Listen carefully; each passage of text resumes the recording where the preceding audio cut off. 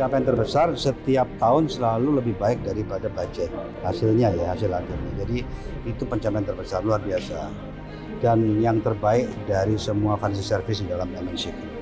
Ada dua hal yang saya perhatikan. Jadi mereka mencanangkan tumbuh hampir 100% sangat luar biasa, tidak mudah, tapi saya yakin dengan manajemen yang ada saat ini mereka mampu untuk melaksanakan itu. Ya, jadi uh, keep on. Jadi artinya saya lihat visinya udah baik, bisnis modelnya udah baik.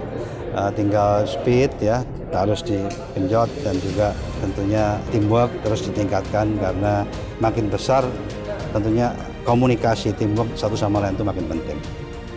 Tantangan industri leasing itu yang pertama funding ya. Jadi funding itu satu tantangan karena leasing itu kan perlu funding seperti bank aja jadi pinjam lalu disalurkan lagi kan funding dan juga bunga ya itu juga tantangannya bagaimana dapat bunga yang murah sehingga bisa menyalurkannya juga lebih murah. Kemudian tantangan kedua untuk mendapatkan uh, debitur yang credible. Itu tantangan kedua tapi saya rasa itu bisa diatasi semua